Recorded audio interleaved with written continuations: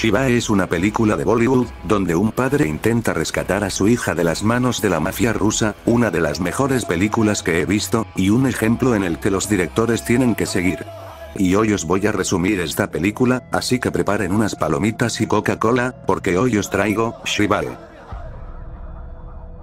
Esta es la historia de Shibae, un alpinista que se gana la vida ofreciendo caminatas y expediciones de escalada a los turistas.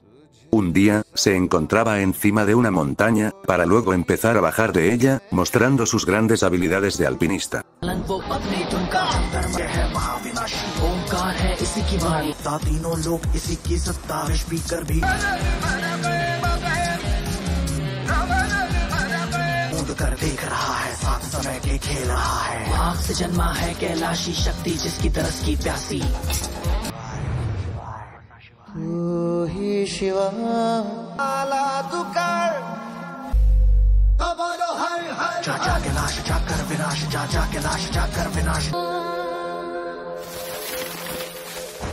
Ni siquiera de rodillas soy digno de estar ante ellos. Luego de bajar de la montaña y mostrar sus habilidades, camina hacia unos soldados, los cuales le dan las gracias por haberlos ayudado en una misión, luego de eso muestran la vida de Shibae, en cómo era una buena persona y que compraba material para los niños, donde un chico llamado Kamcha está enojado con Shibae, debido a que Shibae nunca lo llevó a escalar en las montañas con él, pero debido a que hoy era su cumpleaños, Shibae acepta en llevarlo junto con un par de turistas. Uno de los turistas llamado Trekker lo empiezan a joder, debido a que tenía miedo de escalar la montaña. ¡Te vas a morir Virgo así, boludo! Pero la que más destacaba era Olga, una chica de Bulgaria, a la cual Kamcha y Shibae empiezan a coquetear en su idioma, pero luego Olga muestra que también habla su idioma, por lo que Shibae para de golpe por el shock. Por la noche, se toman un pequeño descanso, donde Olga empieza a provocar a Shibae, diciéndole que solo es Shiva por el nombre y no como el dios Shibae, y le pregunta de qué más tiene de Shiva, por lo que Shibae empieza a mostrarle sus tatuajes del dios Shiva, como la serpiente de Shiva y su tridente, y Olga se pone bastante caliente al ver sus músculos. ¡Ay, qué delicia! Y bueno, gracias a esta charla acaban haciéndose más cercanos. A la mañana siguiente, Shibae y su equipo ya estaban en la montaña, así caminando un buen rato, hasta que deciden tener un pequeño descanso. Pero el descanso les duraría poco, ya que una avalancha de nieve empezaría a caer, por lo que Shibae tiraría una cuerda al otro lado de un abismo de la montaña, donde empezaría a mandar uno a uno al otro lado de la montaña. Pero Trekker, siendo un marica no quería saltar, y debido a un empujón de Shibae, logra llegar al otro lado, solo quedaba Olga, por lo que cuando Shibae ya iba a salvarla, la avalancha ya estaba muy cerca, por lo que la única forma de salvarse era metiéndose dentro de una tienda de camping, así cayendo, pero Shibae logra enganchar la cuerda. Olga y Shibae estaban dentro de la tienda de camping y a la misma vez colgados bajo dentro del abismo, Olga no paraba de gritar, por lo que Shibae para calmarla la besa en los labios. A la mañana siguiente, un helicóptero llega a rescatarlos, así ambos volviendo a su aldea, donde muestran cómo ambos empezarían a mejorar su relación. Olga intenta convencerle a Shibae que venga con ella a Bulgaria, pero Shibae se niega. Cuando todo parecía que estaba bien, Olga va al médico, la cual le dice que quedó embarazada de Shibae, el problema era que Olga no quería el bebé, y quería abortarlo, cosa que enfurece a Shibae. Al llegar a casa, Olga le dice que ella tiene muchas cosas que hacer en la vida, por lo que Shibae le dice que le dé la niña a él, y que ella puede irse de aquí, por lo que Olga lo acepta. Luego de nueve meses, Olga da a luz a una niña, a la cual ella ni siquiera le mira la cara, ya que sabe que si le mira el rostro, no querría dejarla ahí, y se va de ese lugar para siempre, no sin antes dejar una nota, donde decía sus últimas palabras a Shibae. Pasarían nueve años, donde podíamos ver a Shibae con su hija Gora, que por cierto es muda, y a la cual Shibae la enseñaba a escalar, mostrando que ella escalaba mejor que su padre. Luego nos muestran cómo fue la vida de Shibae con su hija, donde ambos se querían el uno al otro, y Shibae le dio una muñeca que Olga hizo para ella. Pero una noche, Shibae mientras estaba afuera, ocurriría un terremoto en la aldea, por lo que Shibae rápidamente saca a Gora de ahí para ponerla a salvo. A la mañana siguiente, toda la casa se encontraba con leves daños, pero Gora en uno de los escombros lograría encontrar la carta que Olga le escribió a Shibae antes de irse, por lo que empezaría a llorar, Shibae al ver eso la intentaba calmar, pero Gora se encontraba muy enojada y le exigía todo lo que estaba escrito en la carta, ya que Shibae le mintió diciendo que su madre murió tiempo atrás, por lo que Shibae le dice que ella sigue viva y está en Bulgaria, pero ella ya no existe para ellos, no quería ni verle la cara, y que no la amaba. Pero Gora por la ira y frustración sale y corre de la casa, Shibae la intenta detener, cosa que lo logra, pero por accidente la hace golpear en la cabeza, así desmayándola. Luego de ponerle puntos en la cabeza y llevarla a la casa, Gora solo ignoraba a su padre. En una noche Gora estaba afuera de la casa, donde Shibae se sienta a su lado y le pregunta de qué quiere, por lo que Gora le suplica de que quiere ir a ver a su madre solo una vez.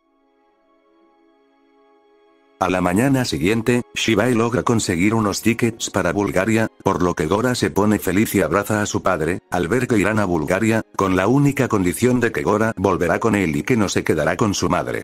Una vez llegados a Bulgaria, irían a un hotel para descansar, pero en el camino, Shibae se toparía con dos sujetos, los cuales tenían a un niño consigo, Shibae sospecharía de ellos, por lo que los vigila, viendo como alguien se llevaba al niño dentro de una de las habitaciones. Más tarde, Shibae, decide tocar la puerta, donde sale un viejo, pero Shibae logra ver al niño en la cama, mostrando que fue abusado por el anciano, por lo que Shibae le da una paliza.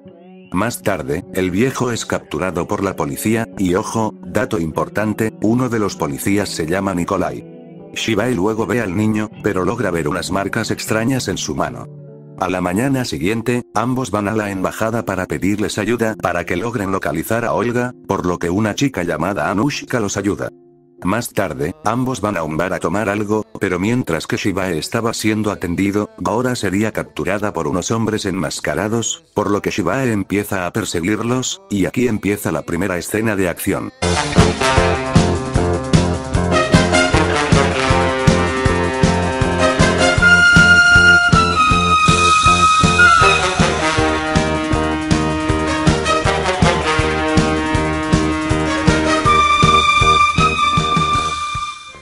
Esta vez, de nada le sirvieron sus habilidades de alpinista, ya que estas no eran las montañas, Shibae luego es rodeado por policías, a los que Shibae intenta decirles que capturaron a su hija, pero solo recibe madrazos como respuesta. Luego de esto, Shiba es interrogado por los policías, donde él les dice que capturaron a su hija, pero los policías no le creen en nada, debido a que físicamente no se parecen en nada, y creen de que Shiba es un criminal y que quiere vender a la niña. Shiba al escuchar eso, explota de la ira y empieza de golpear a todo Cristo, pero de nada le sirve. Luego muestran a Gora, la cual quedó en manos de un pedófilo, el cual le quema el pasaporte junto con el de su padre, y luego de esa escena no se sabe qué pasa con ella. Con Shibae, él es mandado a la cárcel, y le pusieron tres delitos, tráfico infantil, asesinato, y atacar a policías, y los dos primeros delitos los pusieron sin nada de evidencias los muy cabrones. ¡Pinche gobierno puto! Luego uno de los hombres que apoyaba a Shibae empieza a contarle que los que secuestraron a su hija fue la mafia rusa, los cuales venden a niños y partes de su cuerpo por una gran cantidad de dinero, y le dice de que su hija jamás será encontrada, y que olvide que alguna vez fue padre. Cuando Shibae estaba siendo trasladado por un camión, se imagina a los policías en los hombres que capturaron a su hija, por lo que empieza a atacarlos, y aquí empieza la segunda escena de acción.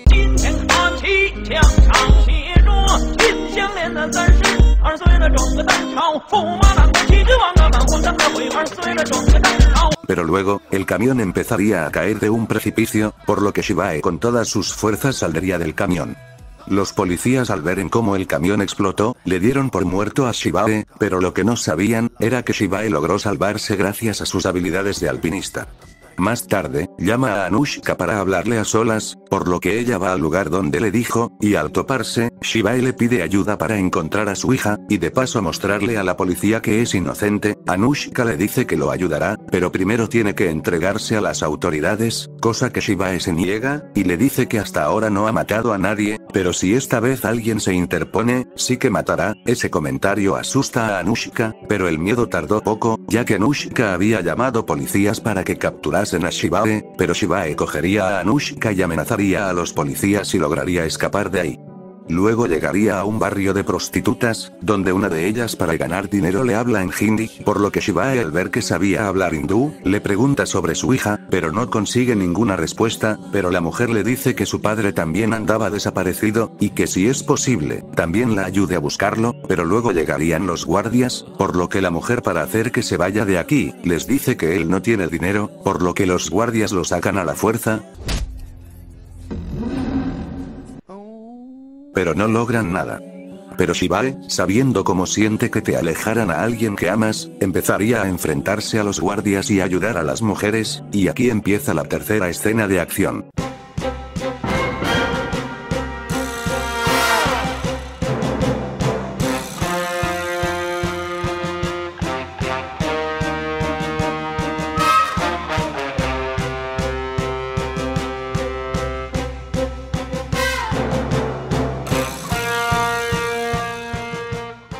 Luego de eso, Shibae volvería con Anushka, y le dice que por lo menos ayude a encontrar al padre de la mujer, y luego de eso, el padre de Anushka apoya a Shibae, por lo que Anushka empieza a creer que Shibae en realidad es inocente, y por la mañana siguiente, Shibae sale en las noticias, donde intentan mostrar su inocencia, pero el caso es que Olga también vería la noticia, así empezando a arrepentirse de lo que hizo nueve años atrás. Luego, Olga vendría a ver a Nushka, ya que quería ver a Shibae, cosa que lo logra, ambos se vuelven a ver luego de nueve años. Shibae confronta a su ex esposa, diciéndole que lo que le está pasando ahora es por su culpa, pero Olga le dice de que ella admite que todo es por su culpa, pero ella ahora quiere a su hija sana y salva. Más tarde, empezarían a hackear las cámaras de seguridad con la ayuda de un hacker llamado Bajat para encontrar un vídeo donde Shibae había atrapado a uno de los secuestradores de su hija, pero él acabó siendo atropellado por un camión. El plan era rastrear su rostro para ver con quién trabajaba, pero el problema era que uno de los hombres del viejo pedófilo llamado Ivanovich llegó a la comisaría y le dio algo de dinero a un policía corrupto para que borrase el vídeo, ya que ese vídeo era la única manera de llegar a su hija. Pero aquí nos enteramos que aquel hombre no murió atropellado por un accidente, sino que fue atropellado a propósito por Ivanovich, por lo que Shibae necesitaba encontrar a él, no al muerto. Cuando Wahab estaba descargando el vídeo, Ivanovich también lo hizo, así empezando a rastrearlos, y Wahab no podía hacer nada. Ivanovich lograría rastrearlos, así llegando al lugar con sus hombres. Pero lo que no sabía, era que Shibae se dejó hackear para traerlos hasta aquí, así empezando la cuarta escena de acción. Falling on my head. And just like the guy whose feet are too big for his bed, nothing seems to fit. Those raindrops. Shibae acabaría ganando la pelea, y torturaría a Ivanovich para decirle dónde se encontraba su hija, el cual acabaría diciéndolo, por lo que irían a la casa del pedófilo, donde estaba su hija. Mientras que Olga dejaría el cuerpo de Ivanovich afuera de la comisaría, donde se encontraba el policía Nikolai. Por lo que el líder de la mafia llegaría antes a la casa del pedófilo, donde se lleva a los niños y mata al pedófilo para no dejar evidencias. Cuando Shiba y Anushka llegarían al lugar, empezarían a buscar a su hija, pero nada, no había absolutamente nada, Shiba empezaría a desesperarse, hasta que llegaría en un congelador donde se encontraban cadáveres de niños, Shiba empezaría a llorar creyendo que su hija también estaba muerta, pero luego, vería unas marcas en las manos de uno de los cadáveres de los niños, enterándose que es el mismo niño que había salvado aquella noche. Shiba lleno de ira saldría afuera del lugar, ¡Les pero vería que el pedófilo seguía vivo, por lo que le grita que en donde estaba su hija, pero el pedófilo solo le diría un nombre. Shiba y Anushka irían a la comisaría para preguntarle a Ivanovich sobre Changres, pero el líder de la mafia como no quería dejar evidencias, también mataría a Ivanovich. Todo parecía que estaba perdido, pero Shibae recordó que aquel niño que salvó y que lo dejara en las manos de los policías, y que su cadáver se encontrara en la mansión de los mafiosos, más que Ivanovich muriese en la comisaría, Shibae se daría cuenta que Changres es un policía. Por lo que llegaría a la comisaría, entrando en una reunión, y decir en voz alta el nombre de Changres. Todos se darían la vuelta, menos uno, y te vas a ir para atrás, ¿recuerdas a Nikolai, aquel policía amigable? Pues te vas a caer de culo, porque Nikolai, es Changres. Así es, el verdadero culpable del secuestro de su hija, y el líder de la mafia. Los policías atacarían a Shibae, y Chang'e se escaparía del lugar. Shibae lograría escaparse. Y junto a Nushka, empezarían a perseguir a Chamdes. Wahab rastrearía el móvil de Chamdes, y escucharía que la furgoneta que en donde estaba su hija, iba a ser transportada a Romania, y si cruzan la frontera, ya no habrá oportunidad de salvarla, por lo que Shibae empezaría a perseguir la furgoneta. Pero ya era demasiado tarde, la furgoneta lograría pasar a la frontera. Ya no había manera de salvar ahora, todo estaba perdido. ¿Pero de qué hablo? Estamos hablando del hombre que enseñó a trepar paredes y balancear a Spider-Man y a los de Assassin's Creed, y Shibae con sus habilidades de alpinista bajaría de la montaña para llegar hasta la furgoneta. Una vez bajado, se cargaría a los dos hombres, para luego abrir la puerta de la furgoneta, muchos niños saldrían, hasta que finalmente volvería a ver a su hija, la cual por cierto no se encontraba nada bien, Shibae la intentaba calmar, pero ella por los abusos no paraba de gritar, hasta que Shibae le canta una canción que siempre solía cantar, ahora reconoce a su padre y finalmente lo abraza, todo parecía que estaba bien, pero de la nada, Shibae recibiría una bala en la espalda, viendo que un helicóptero de los mafiosos lo seguía, por lo que entran en el túnel para salvarse de ellos. Pero al otro lado del túnel, le esperaban los hombres de Chambres, por lo que Shibae los enfrenta.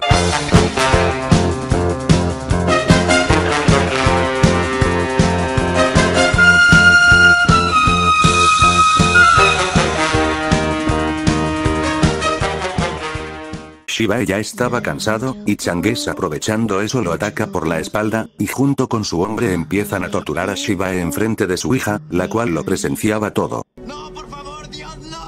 Shibae intentaba decirle a Gora que se vaya de aquí, pero ella le negaba a su padre, y Changes le dice a su hombre que vaya por ella, por lo que Gora escapa de ahí, Shibae al enterarse de eso lanza al hombre de la montaña y se zafa de Changes, y sin pensarlo dos veces, agarra a Changes y se lanzan de la montaña, así empezando a caer, hasta llegar a un acantilado, donde empieza la pelea final.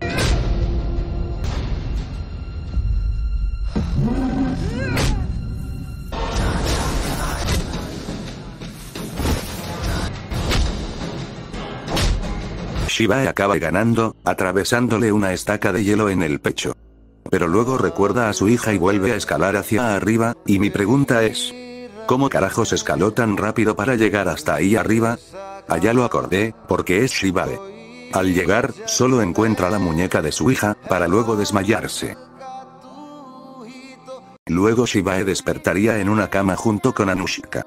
Más tarde llega a la casa de Olga, donde finalmente se reencuentra con su hija, pero el problema es que Olga le suplica de que ella se quede con ella y con su marido, y Shibae al ver lo feliz que estaba Agora, lo acepta. Más tarde, Shibae estaba en el aeropuerto para regresar a su casa, pero en el lugar llega Agora, la cual le rompe el ticket y le grita, al ver que la iba a dejar, pero Shibae le pide que venga aquí, donde ella lo abraza, y mira a Olga la cual trajo a Agora aquí, al ver que ella prefería estar con su padre, y aquí termina la película.